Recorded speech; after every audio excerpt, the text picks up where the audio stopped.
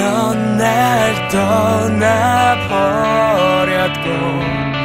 난 혼자 남겨져 있어 행복했던 추억과 상처만 남아 있어.